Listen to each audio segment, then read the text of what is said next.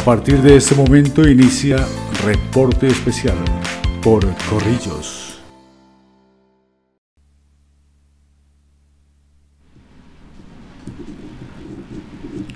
Bienvenidos a Reporte Especial. Mi nombre es Miller Arevalo.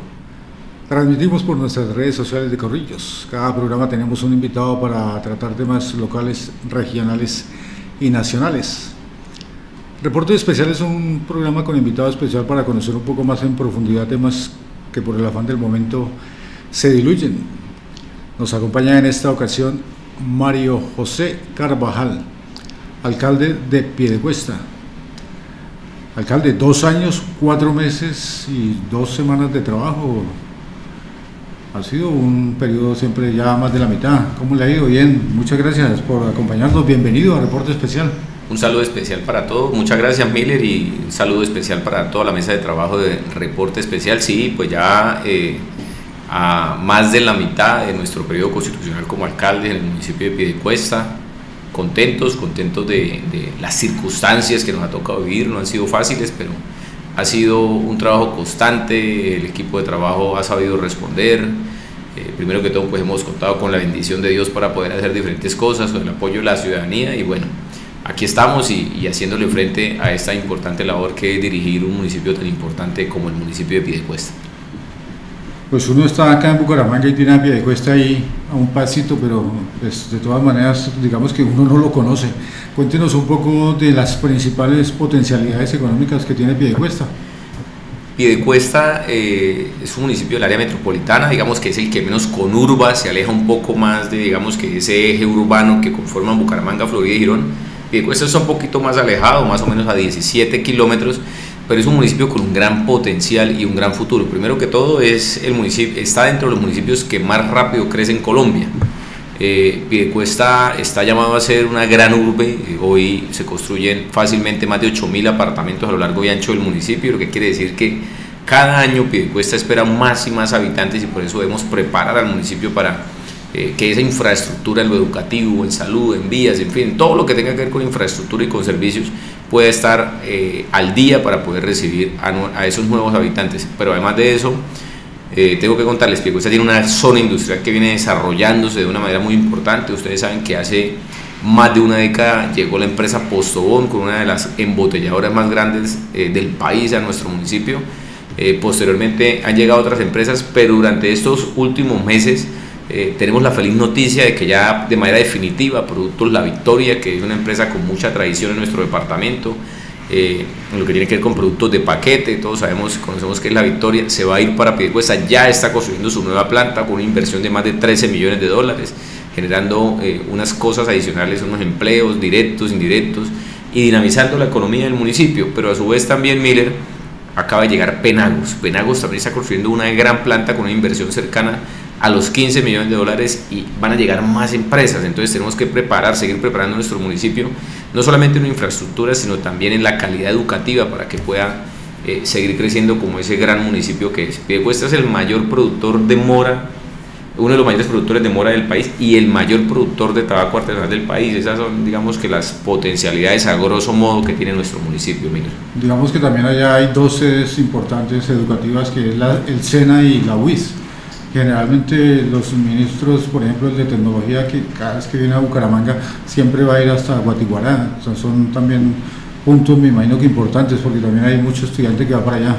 Claro, mire, el Parque Tecnológico de Guatiguará, eh, que está conformado por la UIS Guatiguará, el SENA, ya la llegada definitiva de esa gran sede de las unidades tecnológicas, cuya construcción empezó hace pocas semanas, eh, va a ser la segunda sede más importante de, de, las unidades tecnológicas en nuestro departamento. Todo ese entorno educativo, todo ese entorno de investigación con la UIS, el Instituto Colombiano de Petróleo y CP, hace que Piedecuesta tenga una gran potencialidad en lo tecnológico. Hay años que Piedecuesta per cápita es el municipio que más patentes tiene en Colombia. Entonces eso para nosotros es muy importante porque pone a figurar el nombre de Piedecuesta en el panorama nacional y a veces internacional.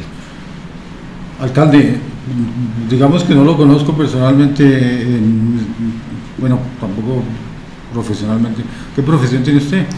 Yo soy abogado de profesión, Miller, eh, egresado de la Universidad Santo Tomás de Bucaramanga. ¿Y era la primera vez que se lanzaba como alcalde en el 2019? ¿o no, no, ya, ya, ya había tenido una oportunidad como candidato en el año 2015, pero bueno, quedamos de segundos y pues usted sabe que el que persevera alcanza y contamos pues con la bendición de Dios y con la anuencia del pueblo piedecuestano. Bueno. ¿Y cuántos votos logró? Sacamos aproximadamente 35 mil votos, mire. ¿Que es un bueno o es regular allí en Piedecuesta? Digamos que es un porcentaje más o menos, en la elección pasada significó el 42% de la elección, 42-43% de la elección. Bueno, ahora otra vez sobre el municipio. ¿Cómo está el municipio en materia presupuestal? ¿A cuánto, asciende el presupuesto anual y a cuánto ascendió el valor del plan de desarrollo para los cuatro años? A ver, Piedecuesta es un municipio que tiene eh, un presupuesto, digamos que entre comillas, eh, puede parecer grande.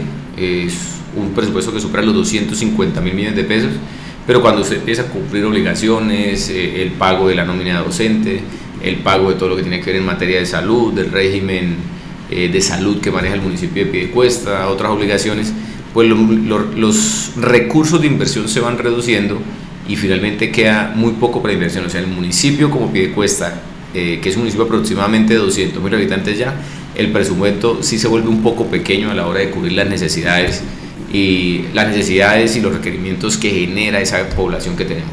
Además que es un municipio muy grande, ¿no? A veces se entera de situaciones y que allá hay una vereda de pie de cuesta cuando hay circunstancias como invierno o algo, ¿no? O hay algún, sacan algún cultivo, porque Piedecuesta es bastante extenso, es un municipio como grande. Somos el municipio más agrícola del área metropolitana, se produce mora, aguacatejas, cítricos, eh, en, en, la extensión, eh, le voy a poner un ejemplo, empieza en el puente pescadero, termina aquí eh, en la, en la, un poco después de la pontificia bolivariana, eh, si usted va al kilómetro 36 en la vía Cúcuta, del kilómetro 36 al kilómetro 42 también en jurisdicción de Piedecuesta. Y si va hacia el valle de Guatiguará y empieza a bajar, se encuentra con Palo Gordo. Eh, Piedecuesta eh, es un poco antes de Palo Gordo, un kilómetro y medio, dos kilómetros antes de la cárcel de Palo Gordo. Entonces, sí es un municipio que, que, tiene una, una, extensión bastante considerable. Eh, ¿De dónde provienen los ingresos del municipio y qué tantos son propios y qué tantos son ingresos provenientes de la nación o del departamento? Mire, de recursos propios, eh, el municipio de Piedecuesta pues empieza a crecer, empieza a generarse un ingreso en lo que tiene que ver con eh, impuesto predial, impuesto industria y comercio, pero la gran mayoría de recursos que nos han permitido a nosotros hacer obras han sido recursos de gestión. Y en eso ha hecho una presencia importante del señor gobernador, nos ha ayudado de manera significativa. También hemos podido conseguir recursos del orden nacional y bueno, eso ha permitido que hoy eh, haya bastante obra pública en el municipio, en diferentes barrios. ¿sí? Eh, claro que la obra pública a su vez genera unas incomodidades, ¿cierto? Porque hay que abrir calles, hay que, a veces generan trancones, en fin, toda esta, eh, toda esta logística que requiere la, la, la, ejecución de una obra civil a veces implica incomodidades y, algunas comunidades lo entienden, otras no tanto, pero bueno, hay que seguir trabajando y, eso ha sido lo importante. Cuando, con seguridad que cuando termine el intercambiador que están haciendo frente al centro comercial se le va a solucionar bastante el problema de la movilidad ya en pie de cuesta, ¿cierto? Claro, así ha sido, ha sido una circunstancia de, mucha preocupación eh, este intercambiador que inicia con una serie de falencias. Eh, logramos gestionar los recursos necesarios para poder llevarlo a buen término y esperamos entregar el segundo deprimido. Ya hay un deprimido en funcionamiento, el segundo deprimido es el deprimido sentido norte-sur, es decir, el de ingreso al municipio. Cuando ese deprimido esté terminado, pues se va a normalizar tal vez la movilidad en un 85-90% en ese sitio, en, el sitio del intercambiador, y esperamos entregar ese intercambiador terminado en el mes de diciembre del presente año. Cuando usted asumió el, el gobierno, alcalde María José Carvajal, ¿cómo recibió las arcas del municipio? ¿Con déficit o con superávit? No, no, no, no, no había superávit, había un, había un, déficit ahí, había una deuda pública, pero bueno, eh, dice el dicho, uno no, no, cambia el mundo quejándose de las circunstancias en que vive, sino trabajando para mejorarlas. Había una deuda aproximada de 78 mil millones de pesos, eh, pero igual eh, eso no fue, no, fue, no fue elemento determinante para que no se trabajara, por el contrario, hemos venido trabajando, hemos venido gestionando recursos, lo repito, ante la gobernación de Santander, ante el gobierno nacional y otras instancias que han permitido que se vea la ejecución de obra pública en el municipio. Pero la deuda ya se, disminuyó o aumentó. No, la deuda permanece ahí y ah, se está cumpliendo a los bancos de la manera en que, en que se estipuló. Y la pandemia del COVID efectivamente me imagino que tuvo que afectarlo en algún sentido. Eh, pero digamos en, en, las circunstancias de desarrollar, de delinear el plan de desarrollo, ¿qué tanto lo afectó y qué tantos recursos propios se utilizaron para esta emergencia sanitaria? Por supuesto que fue necesario utilizar eh, diferentes eh, fuentes de financiación para poder cubrir las necesidades que generó el COVID-19, para entregar ayudas alimentarias, eh, en temas de salud, todo lo que ya ustedes conocen, el tapabocas, en fin, de generar una logística necesaria para después para el tema de las vacunas, porque usted sabe que el gobierno nacional entregaba las vacunas, pero era necesario tener la logística para aplicarlas, hablar con los centros médicos que hacen presencia en nuestra ciudad para que eh, ese, ese proceso de vacunación que fue exitoso se llevara a buen término. ¿La pandemia ha perjudicado perjudicó el ingreso de recursos por concepto de impuestos o la gente siguió pagando común y corriente? Tengo, tengo que contarle algo, los, los tienen una buena cultura de pago y sí afectó sobre todo el impuesto de industria y comercio, pero lo que tiene que ver con predial no, la gente le da mucha importancia al pago del predial. Claro que hubo afectación en muchos establecimientos de comercio y sí se cayó de manera notoria el recaudo en el impuesto de industria y comercio. ¿Y hubo muchos cierres de locales o, no tanto? Acá en Bucaramanga se veía mucho local en arriendo, en arriendo, pues porque sí, claro, no, no, había, no había, no había, no, muchos negocios tenían para mantenerse durante mucho tiempo cerrados, ¿no? ¿Qué pasó en pie de cuesta? Sí, claro, no, no, no, no puedo desconocer, hubo mucho establecimiento de comercio que venía emergiendo, que venía surgiendo y, y, y esta, esta pandemia pues eh, prácticamente casi que sepulta las esperanzas de, de, esos establecimientos de comercio. De una u otra forma tratamos a través de eh, el Banco de Todos, que es un banco que tenemos en alianza con la corporación Corfas, eh, de generar créditos blandos, no tan altos, pero créditos blandos que le permitían a las personas poder tener unos recursos para poder nuevamente impulsar todos esos negocios que, que, de una u otra forma, le voy a decir algo, mire, el, el 25% de los empleos lo genera la gran industria y el Estado. El 25% de los, eh, de los empleos que tiene nuestro país lo genera la gran industria y el Estado. Entonces ese otro 70-75% está en los pequeños locales, en los pequeños establecimientos de comercio, en la tienda del barrio, en la peluquería, en la miscelánea, en la heladería. Entonces e, es muy importante poderle invertir y poderle dar facilidades a esos pequeños propietarios de esos establecimientos para que puedan resurgir. Y eso es lo que hemos estado tratando de hacer en el último año. ¿Y el municipio ha recibido ayuda del gobierno departamental o del gobierno nacional para atender la pandemia? Sí, sí, sí, sí, claro. Por ejemplo, hubo ayudas alimentarias, eh, el tema de vacunación, el tema de elementos de bioseguridad. Claro que sí, el, señor gobernador ha estado atento a esa circunstancia, como también el gobierno nacional también con las ayudas alimentarias a través de la Unidad Nacional de Gestión del Riesgo, en su momento también hizo el aporte correspondiente. Estamos en el reporte especial con el alcalde de Piecuesta, Mario José Carvajal. Vamos a nuestra primera pausa en, el programa y dentro de un momento venimos para hablar sobre otras líneas gruesas de ese trabajo que está haciendo allí en Piedecuesta. Estás viendo Reporte Especial. Blanca progresa y lo estamos logrando. Logro número 142, vacunación canina y felina. Con éxito avanza la estrategia de vacunación antirrábica canina y felina que adelanta el gobierno del alcalde Miguel Moreno en los barrios y veredas. Una iniciativa que garantiza bienestar a las mascotas y aporta a la tenencia responsable de animales. Uno a veces no tiene recursos para llevarlo a una vacunación y pues ya que la hay, pues aprovecharla. Porque con protección animal, el progreso en la ciudad es imparable. Unidos avanzamos. Alcaldía de Florida Blanca, Gobierno de Lobos.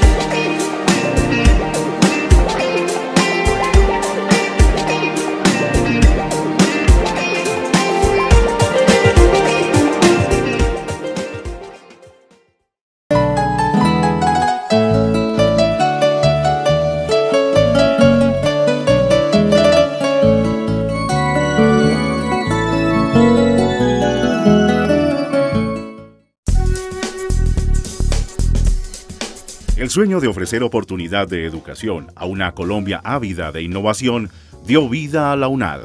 Cimenta su formación académica ofreciendo más de 1.200 cursos virtuales en campus, haciendo uso apropiado de herramientas tecnológicas para que miles de colombianos de todos los estratos accedan a una educación con cobertura, pertinencia y calidad. La educación virtual es la mejor opción para personas emprendedoras con visión de futuro y actitud de transformación frente al cambio de paradigma.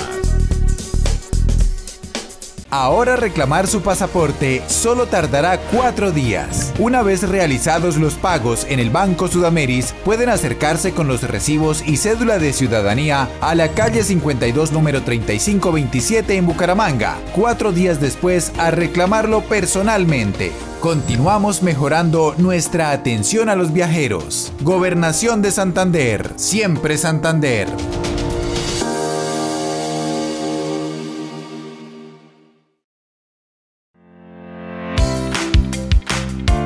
Estás viendo Reporte Especial.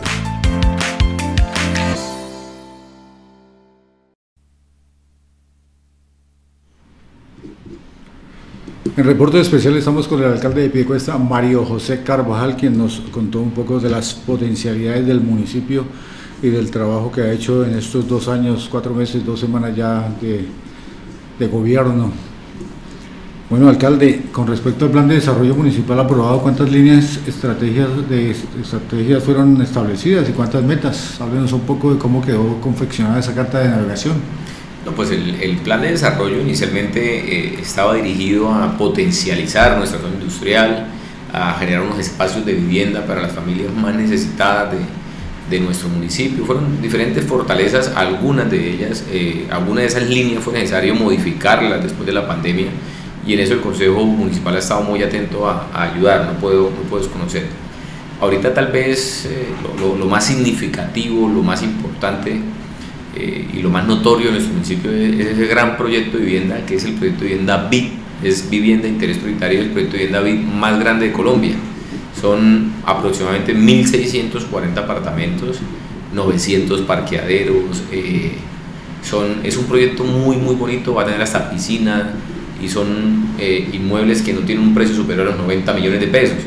Eso ha hecho eh, eh, que muchas familias han averiguado por ese proyecto y tienen el subsidio de Mi Casa Ya, es un subsidio del gobierno nacional de aproximadamente 30 salarios mínimos. A su vez, las personas que tengan caja de compensación pueden tener un subsidio adicional de 20 salarios. Entonces, fácilmente podemos encontrar, no todas, pero algunas familias que tienen los dos subsidios, es decir, la concurrencia de los dos subsidios, quedarían pagando cuotas mensuales aproximadamente de 250 mil pesos, lo que hace un, que sea un proyecto bastante importante, bastante incluyente y muy solidario con las familias que de pronto nunca habían tenido acceso a tener una vivienda propia. Frente a esa circunstancia del crecimiento acelerado del municipio, más apartamentos, más gente, eh, ¿cómo está pie cuesta en cuanto al tema de los servicios públicos? Porque supimos que en Girón se había hecho una urbanización, pero no le han, no le han puesto el agua. ¿Cómo está en Piedecuesta en ese sentido? No, en, en, ese sentido, pues en Piedecuesta hemos sido un poco cuidadosos. Ustedes saben que nosotros tenemos una empresa de servicios públicos totalmente independiente al resto del área metropolitana, que es la Piedecuestana de Servicios Públicos.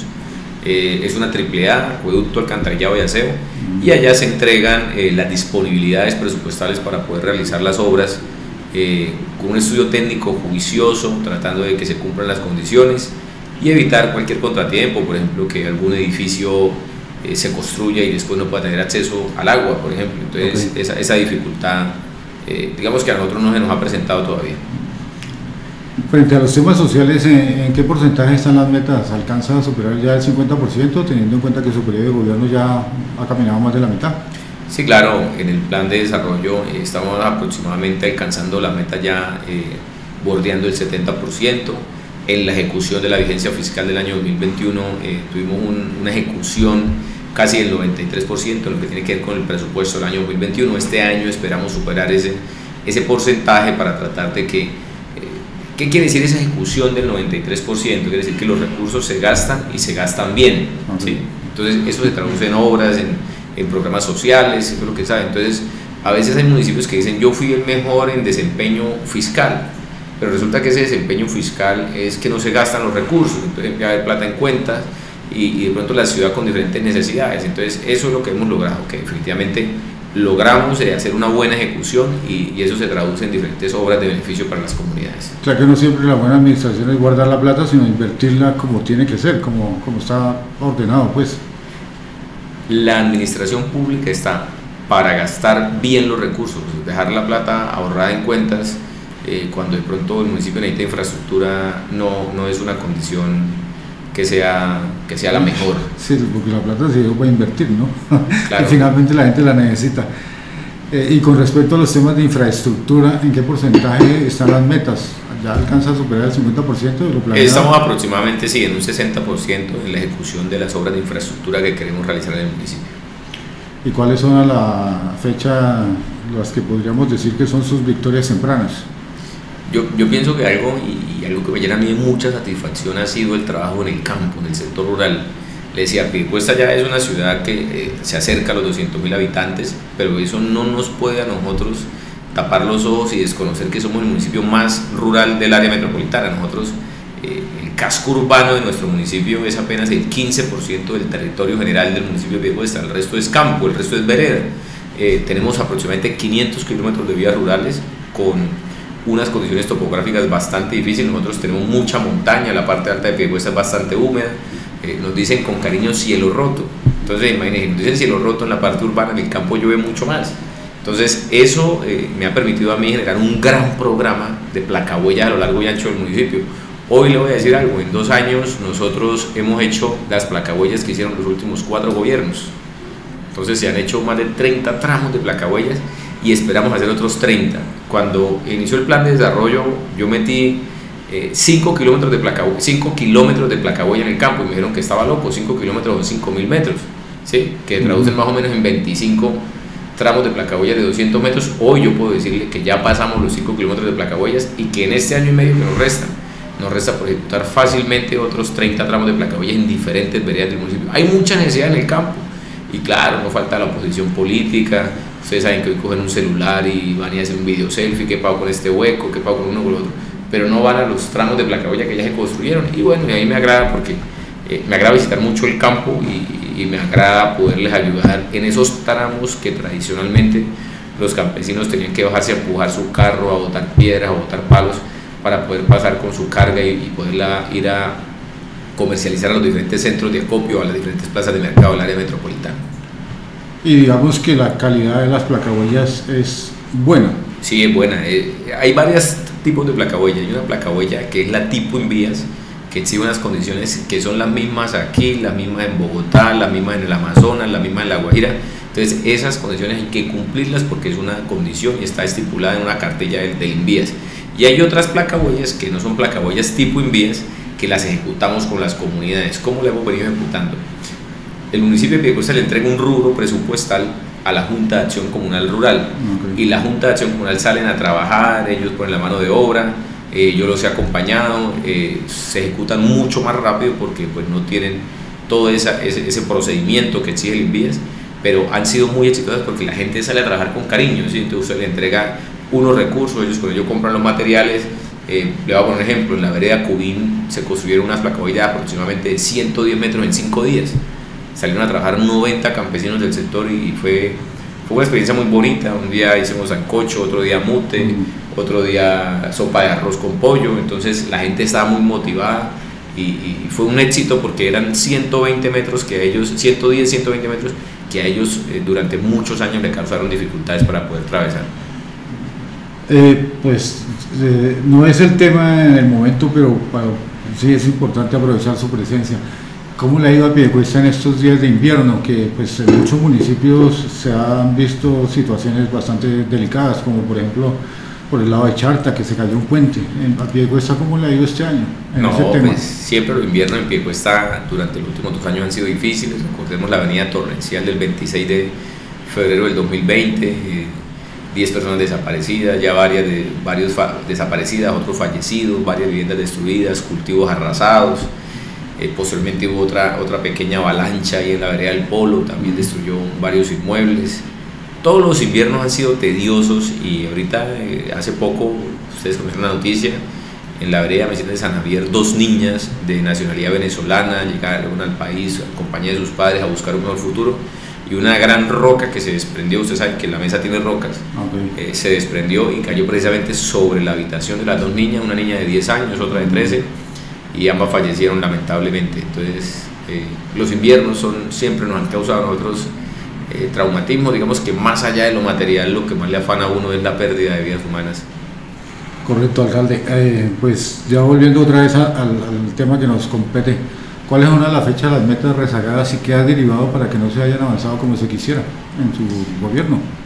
Hay, circunstancias, uno no puede conocer que hay falencias a veces, por ejemplo, en el tema de algunos funcionarios que, eh, digamos que siempre, siempre hay, un, hay, un, hay un tinte subjetivo en las formas de actuar, eh, pero no, digamos que en general ha marchado bien. Eh, hay un tema que nos ha generado cierto traumatismo y es el, el tema del tránsito en el municipio eh, la, la, movilidad de nuestro municipio, el tránsito de nuestro municipio, tiene una falencia, es que tenemos muy poquito personal. Nosotros apenas tenemos cinco alférez. Entonces, cinco alférez son insuficientes para un municipio de casi 200 mil habitantes y de la extensión de Piedecuesta. Esperamos ahorita, después de la ley de garantías, poder vincular nuevos alférez. ¿Por qué? Piedecuesta tradicionalmente ha funcionado con la policía de tránsito. Hoy la política pública de la policía de tránsito es desmontar los cuerpos de tránsito de la policía. Es decir, la policía poco a poco ha venido reduciendo sus organismos de tránsito porque ellos dicen que el, principal elemento que ellos los tienen como policía es la vigilancia. Ustedes saben, hubo un fallo en la Corte eh, que volvió a pasar la de pensión del policía de 25 a 20 años y los policías que estaban en esa fracción de 20 a 25 años de servicio tomaron mucho la opción de pensionarse y eso generó un déficit de pie de fuerza en la policía. Entonces ellos han tratado de una u otra forma de reducir eh, los elementos que no son fundamentales en la policía, lo fundamental de ellos es la vigilancia y el servicio social y eso es lo que ha venido fortaleciendo, entonces nos generó ese traumatismo como que no hemos podido, no hemos logrado nosotros poder eh, acomodar de una manera definitiva el tránsito, pero esperamos que este año, apenas pase junio, podamos vincular más personal que nos ayude a regular eh, sobre todo los sitios neurálgicos. Ustedes saben que en todas las ciudades hay cruces, hay sitios neurálgicos que causan traumatismos. Sin embargo, pues ninguna ciudad está pensada para crecer tanto, ¿no? Yo creo que inclusive Bucaramanga también en muchas partes se, ve mucha congestión, e inclusive, aunque de todas maneras no, no, hablamos de tapones de más de media hora, pero sí, a la gente le molesta porque no está acostumbrada a, que, a demorarse. Señor alcalde, si usted tuviera que darnos una cifra de promedio en torno al avance de la ejecución del plan de desarrollo, ¿cuál sería? estamos llegando al 70%. ¿Eso quiere decir que se califica bien? pues sí, sí, sí, nos calificamos bien. no, puedo desconocer el trabajo de, nuestro equipo. Hay gente, mujeres y hombres ahí comprometidos que han puesto su, su, su, trabajo a, disposición de los piedecuestanos. De la inversión hasta ahora realizada, ¿qué tanto ha sido dirigida a la zona urbana y qué tanto a la zona rural? No, pues obviamente los proyectos en la zona urbana eh, requieren una mayor inversión, por ejemplo, el proyecto de vivienda, vamos a empezar la construcción de un centro administrativo en el sector del parque temático, eh, se están construyendo hoy dos polideportivos. Yo pienso que de los 150 mil millones de inversión, 120 eh, mil son en el sector urbano y unos 30 mil son en el sector rural. Sin embargo, pues en la parte rural son los problemas que se han, se han suscitado, pues vías, que son lo, más, lo que más piden los, los agricultores para poder sacar sus productos. ¿Allí también han desempeñado los mercados rurales? sí, claro, el mercado campesino para nosotros es fundamental porque eh, eso rompe una cadena con los intermediarios que son los que finalmente eh, terminan encareciendo los productos. Entonces, con el mercado campesino, ¿qué se logra? Se logra que nuestro campesino puede ofrecer sus productos frescos a un buen precio y eh, que el residente del barrio donde estamos, porque nosotros lo rotamos por los diferentes barrios del municipio, pues pueda tener el producto fresco y de pronto a un precio más cómodo. En reporte especial con el alcalde de Piecuesta, Mario José Carvajal, vamos a una segunda pausa y ya en un minuto regresamos para continuar este diálogo y el trabajo que desarrolla en el municipio del área metropolitana de Bucaramanga, el que está ubicado al sur. Estás viendo Reporte Especial. Blanca progresa y lo estamos logrando. Logro número 142, vacunación canina y felina. Con éxito avanza la estrategia de vacunación antirrábica canina y felina que adelanta el gobierno del alcalde Miguel Moreno en los barrios y veredas. Una iniciativa que garantiza bienestar a las mascotas y aporta a la tenencia responsable de animales. Uno a veces no tiene recursos para llevarlo a una vacunación y pues ya que la hay, pues aprovecharla. Porque con protección animal, el progreso en la ciudad es imparable. Unidos avanzamos. Alcaldía de Florida Blanca, Gobierno de Logros.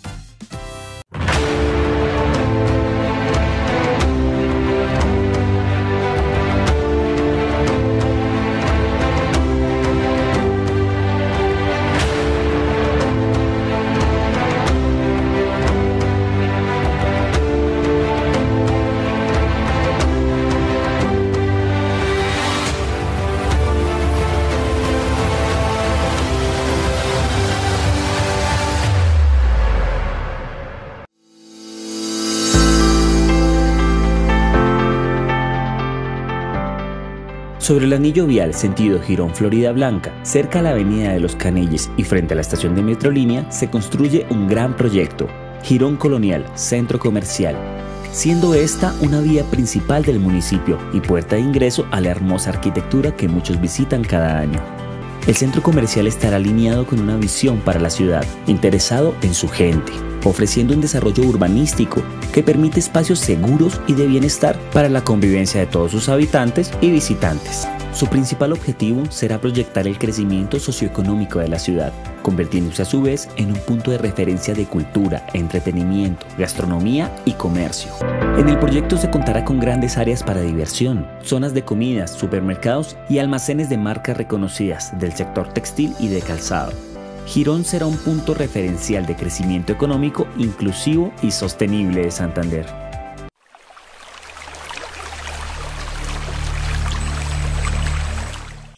Está en su máxima velocidad. La empresa pública de alcantarillado de Santander es la número uno a nivel nacional en la categoría F2, nivel intermedio en la entrega máxima velocidad 2021 del Ministerio de Tecnologías de la Información y las Comunicaciones, orientados a dinamizar el uso de las tecnologías en pro de mejorar la gestión pública. Máxima Velocidad es una estrategia del Ministerio de las TIC que busca acelerar la implementación de la política de gobierno digital de las entidades públicas en beneficio de los ciudadanos. Esta es una experiencia innovadora en la implementación de los habilitadores y propósitos de la política de gobierno digital que nos acerca cada vez más a la transformación digital.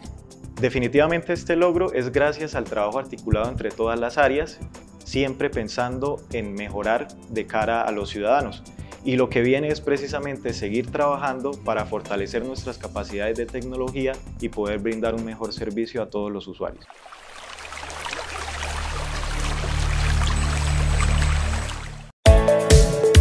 www.corrillos.com.co Toda la información pública, política y electoral en un solo sitio.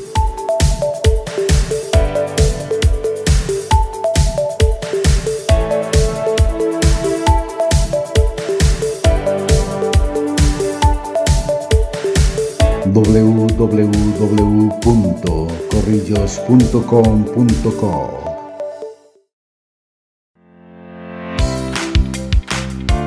Estás viendo Reporte Especial.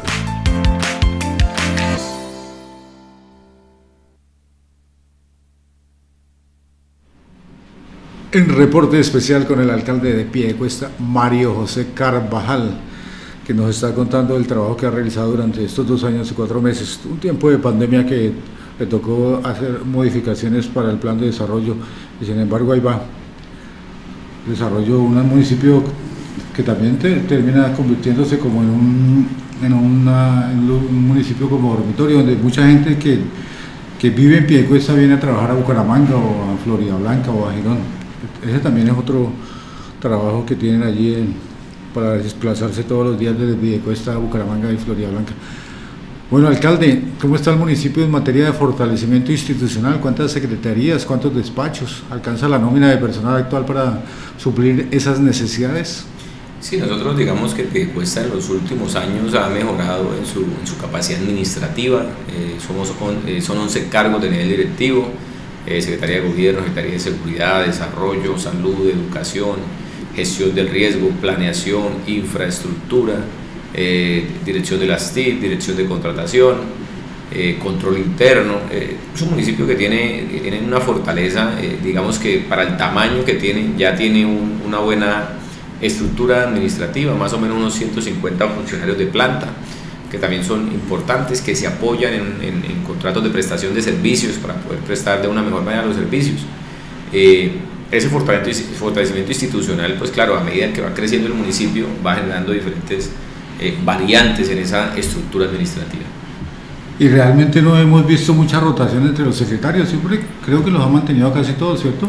Sí, los cambios han sido mínimos. Yo pienso que, que eh, una persona Primero, le voy a decir la verdad, cuatro años a veces para lograr resultados. Digamos que hay resultados que son a corto plazo, que se logran, pero hay los resultados a largo plazo, que a veces cuatro años son insuficientes. Pero cuando usted empieza a cambiar al uno, a cambiar al otro, las personas llegan, así tengan mucha experiencia, llegan a acomodarse al cargo y de pronto no dan los resultados que se quisieran. Eh, ahorita pues me siento cómodo con el, con el equipo que tenemos y bueno, esperamos con ellos poder terminar, a no ser de que ellos tomen una decisión diferente a la que yo pienso. Eh, señor alcalde, ¿cómo está el municipio en temas que para muchos no son a veces como tan importantes como el deporte, la cultura, la recreación? Deporte, cultura recreación, pero este es un municipio muy, muy cultural, allá hay una cuna de artistas bastante notoria, Piedecuesta tiene poesía, tiene teatro, tiene música. A través del Inderpidecuesta y de la Dirección de Cultura hemos tratado de ayudarle a muchos de esos eh, colectivos que, que, hoy hacen presencia en el municipio y, y, eso, eso, eso ha sido una dinámica muy muy bonita, ellos tienen unos espacios hoy donde presentan sus, sus eventos, donde presentan, tienen la capacidad de mostrar todos esos talentos que tienen. En lo deportivo, pues eh, yo tengo que decirlo, sí tenemos una serie unas falencias en lo que tiene que ver con escenarios deportivos, porque digamos que todo lo que ha venido creciendo que eh, no ha tenido las áreas de sección suficientes para generar mobiliario deportivo y a eso es lo que le estamos apostando en estos últimos meses de gobierno. Y recreación, pues... Bien, bien, el Interpidecuesta genera unas jornadas muy importantes a lo largo y ancho del municipio. Tiene un equipo de profesionales en cultura física, en educación física, que le ayudan a los grupos de adulto mayor en los barrios, le ayudan a los grupos de niños, equipos de fútbol infantiles, equipos de baloncesto, eh, ciclismo, que también, sobre todo ciclismo de montaña, Pidecuesta tiene esa, esa fortaleza, tiene las rutas, entonces eso ha generado una buena dinámica en lo recreativo y en lo deportivo. ¿Los entrenadores que van a los barrios a hacer esas jornadas se han mantenido? Sí, sí, sí, sí han estado ahí. Porque usted sabe que a veces se quedan los grupos, digamos, de los, del cierto barrio, los adultos mayores que van a hacer ejercicio todos los días y van, digamos, dos semanas y a la siguiente semana ya no hay profesor, entonces les toca empezar a, a buscar profesor particular. Allá en Piedecuesta más bien es, ha sido mantenido ¿Se ha mantenido el profesor? Sí, sí, sí, hay, hay varios profesores y gente capacitada que sale de acuerdo a los requerimientos de la comunidad, y tal las clases de aeróbicos, en fin, de las diferentes disciplinas que puedan presentarse en lo deportivo. Santander se, no sé, quiere fortalecer su, su tema turístico. Piedecuesta tiene para, ¿qué tiene para ofrecer Piedecuesta? ¿Qué tanta inversión en este renglón ha hecho Piedecuesta en cuanto a turismo? Piedecuesta en lo turístico tiene, eh, el, turismo en Piedecuesta está muy relacionado con el ecoturismo. Nosotros tenemos una fortaleza ahí en lo, ecológico, eh, las cascadas, eh, la, mesa de, la mesa de Géridas, ustedes saben que lo que se conoce hoy como la Mesa de los Santos, la mitad es, casi la mitad de jurisdicción de nuestro municipio. Tiene ese turismo ecológico, ese senderismo, hay deportes de eh, deportes extremos que se generan a raíz de, ese, de, esa fortaleza ecológica que tenemos y bueno, hemos a través de la Secretaría de Desarrollo Económico tratar de potencializarlo, hay una profesional encargada de eso, se hacen las rutas turísticas de nuestro municipio y bueno, hemos tratado de promocionarlo sobre todo en el tema de redes sociales y en el tema de internet, hacerlo mucho más notorio para que cada día nos visiten más, más turistas. Alcalde, ¿cuál ha sido el principal problema encontrado por usted, además de la falta de recursos para lograr una mejor gobernabilidad? Digamos que no, no, son problemas, o sea, eh, yo pienso que en Colombia el Estado está diseñado para que opere de una forma lenta. Entonces los estudios técnicos, la licitación, una cosa, la otra, y hágale, y hágale. Y cada día, cada día un proceso contractual, cada día un proceso administrativo se vuelve más lento, más tedioso y más largo. Entonces la gente requiere eh, soluciones a veces rápidas y la misma normatividad no deja que, que, se puedan dar de la mejor manera. Entonces, por ejemplo, cuando usted toma una decisión en lo ambiental, eh, la CMB toma otra, el área metropolitana otra, entonces ya son varios elementos y, varios eh, actores del Estado que confluyen en una misma actuación y eso la vuelve, la vuelve, la vuelve lenta, la vuelve paquidérmica. Pues aprovechando el tema ambiental que precisamente trajo a colación, ¿qué nos puede contar usted de la posición de Piedecuesta en cuanto al tema del sitio de disposición final del Carrasco? No, el sitio de disposición final tiene que ser un sitio eh, de carácter regional. Es una locura nosotros pensar que los cuatro municipios del área metropolitana, más Lebría, más Río Negro, más Playón y los otros, somos el área metropolitana más otros 13 municipios que depositábamos en el Carrasco o depositamos en el Carrasco. Entonces pensar en tener 15 o 16 basureros, en tener, en, tener 16, 17 sitios de disposición final sería una locura desde el punto de vista ambiental en, en una zona digamos que no tan grande. Entonces lo que hay que hacer es tratar de llegar a una solución regional, buscarla de manera rápida, eh, tratar eh, de, generarle la concepción, por ejemplo, a muchos eh, sitios que se han buscado, el estudio de la UI señaló unos sitios en Lebrija, otros en Girón, porque las comunidades rechazan eso. Apenas les dicen, no, oiga, es que en tal vereda parece que va a quedar el sitio, pues, hay manifestaciones, se encadenan, bueno, entonces, eh, eso ha sido tedioso porque además tiene un componente social bastante neurálgico, esa, esa decisión. Pero hay que, hay que hacerlo pronto, hay que hacerlo pronto y ya hay unos fallos judiciales que, que están ahí conminando a que, a que esa situación se dé. Pienso que el Carrasco, eh, según la última información, en los últimos estudios técnicos, aún tiene vida útil. El Carrasco puede seguir funcionando unos años más. Eh, siento que la decisión que se tomó sobre el Carrasco, eh, en su momento las autoridades de esa época no lo defendieron judicialmente como debieron haberlo defendido y por eso está el fallo de primera instancia, el fallo del tribunal, ahora el desacato. Entonces, toda esa, esa serie de actuaciones judiciales eh, son el resultado de una mala defensa de hace más de 10 años.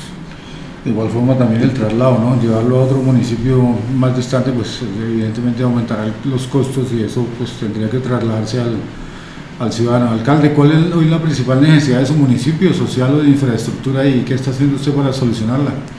Digamos que la, la, necesidad hoy más sentida de nuestro municipio es la regulación en temas de tránsito y, y bueno, estamos a la espera de poder tener más personal en las calles ayudándonos y segundo, eh, hay un, hay un tema bastante importante en temas de seguridad y trato de no decirlo mucho, pero este es el municipio con los mejores índices de seguridad del área metropolitana, pero digamos que hay una percepción nacional y una percepción regional que hace daño y, estamos trabajando en eso. Hoy a, a, la policía hay que felicitarla por el trabajo que hace, sé de las dificultades que tiene sobre todo con el tema del pie de fuerza, con el número de efectivos que tienen para poder cumplir su labor y están buscando es apoyarla desde el punto de vista tecnológico con cámaras de seguridad, alarmas comunitarias, fortalecer los frentes de seguridad. Hay un, hay un insumo muy importante en la seguridad que es la denuncia ciudadana es uno de los mayores insumos de la seguridad porque permite eh, un mejor actuar de la policía.